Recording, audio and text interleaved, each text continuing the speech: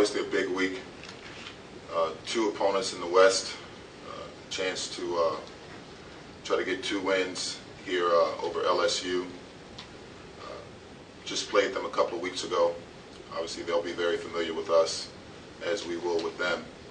Uh, both teams, I'm sure, will make adjustments based on what happened in the last game. So we're in the process of getting prepared for that, and should be an exciting game. And then on Saturday, going down the road and playing Auburn, another opponent in the West, and obviously a huge game in terms of uh, the interstate rivalry. And I'm looking forward to experiencing uh, what I've heard uh, for several months. Uh, will be in a, uh, a great atmosphere in their building, and obviously a very highly contested game. So uh, our team is is just looking forward to getting back on the court and preparing for another opportunity to play. Questions for Coach? Coach, so far this season, especially in SEC play, you've done a really good job limiting opponents' field goal percentage. Have you been pretty pleased with how the defense has played, even when the offense isn't quite, you know, it's been a little... Yeah, I think our defense has given us chances in every game that we've played. You know, and I think that's been one thing that's been consistent uh, throughout SEC play. And, and uh, you know, I, I think uh, every game brings different challenges, and our guys have met the challenge up to this point. You know, we we have to understand again who we are, and and uh, that if we continue to do that, if we can we can defend, and if we uh, can get consistent in terms of rebounding, that it gives us a chance at least every night. What do you think's been the key to the defense playing as well as it has? Is it just effort, or, or is it more strategical? Uh, you know, I think it's a combination of things. Sometimes, you know, other teams are missing, you know, uh, but I do think our guys are giving good effort. I think uh, we understand the uh, intensity that we have to play with to have a chance against the competition that we're playing against every night. We've, it's a process, I think, where uh, hopefully we understand that, that we've got to bring that energy and effort every night. And if you do that, at least you, you know, you're going to have an opportunity. That, that's all we can. That's all we can look for. I, I couldn't sit here and tell you we've got anything figured out because we don't. Uh, every game brings different challenges, and we just got to be prepared for that challenge on a given day. And, finally, would do you take much from what you were able to do to them in Baton Rouge defensively? Do you think that'll carry over much one game to the other? Well, I'm sure there'll be a lot of adjustments that they'll make based on how we guarded them there and things that we'll do differently based on uh, you know having a, a chance to be familiar with what they want to do against us. So, uh, do I think it'll be some bearing? Yes, but I, I think this game will have a completely different feel uh, than what we saw two weeks ago. So, we've got to be prepared for that. Coach Grant, could you um, talk a little bit about Chris Hines and sort of what he's done sort of? I, I think Chris Hines is, is uh, beginning to figure out what his role is on our team and what we need from him. I thought uh, this past week against Tennessee and uh, this weekend against uh, Mississippi State, I thought he brought great energy to our team. And a lot of the things that he does aren't necessarily things that show up on the stat sheet. You know, when you, when you look at his energy, his physicality, the ability to guard several different positions. Uh, I think he's he's done a done a very good job, and, and then he's finding his niche in terms of where he can be effective on the other end of the floor for us. And uh, I think it's uh, it's been a, a great boost to our team, very very much needed in terms of our, our limitations in the front court. So uh, you know, I think he is just uh, you know, when you look at it, he's almost like a freshman because it's his first year really playing major college basketball, even though he's an older guy. Uh, and uh, hopefully he's figured some things out and, and will continue to bring the energy that he's brought. It just seems like uh, Tony Mitchell's been getting a little more visible um, for the team and since conference play started. Can you just talk about uh, what his biggest contribution is uh, for you and uh, how you've seen him improve in his first year?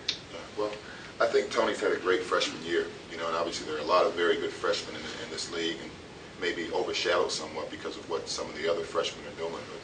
But uh, you know, he uh, prior to missing a couple of games uh, with mono, I thought was really establishing himself and, and playing well. I think since he's been back, he's kind of picked up where he's where he's left off, and I think with every game, gets a better feel for what he can and can't do and, and what's needed.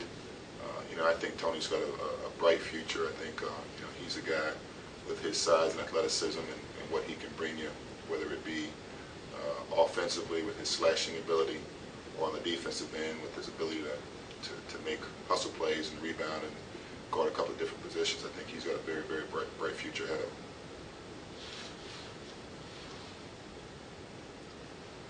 Anybody have anything else?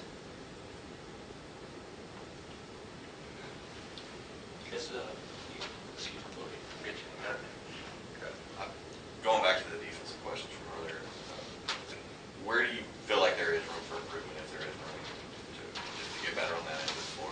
Well, we, we've got to consistently uh, defend the three-point line. I thought we did a very good job uh, the other, this, this weekend against Mississippi State of of trying to limit their opportunities.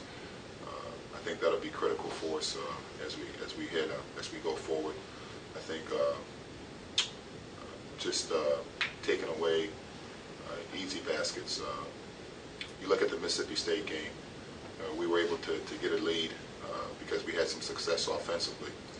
And they went on a run there and, and cut that lead early in the game. And then we went on an offensive lull to close the half out.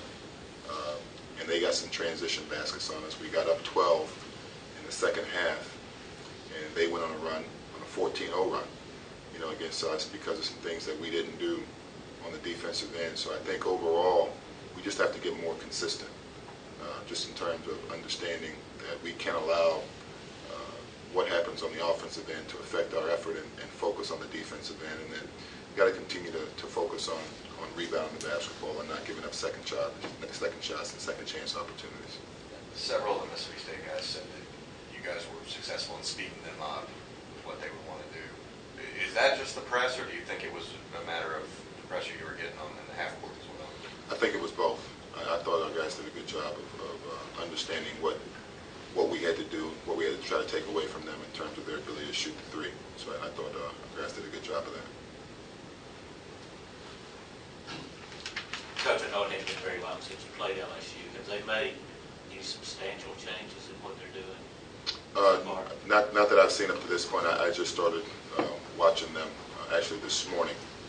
Uh, I think uh, maybe a little different uh, lineup, maybe one or two lineup changes that they've made. But outside of that, I really haven't seen enough of- of their more recent games to really tell you that that there's a lot of changes. Obviously, we've got a couple of days here to try to figure out maybe some some things that they do differently, some things that we can try to change based on our last time we played them.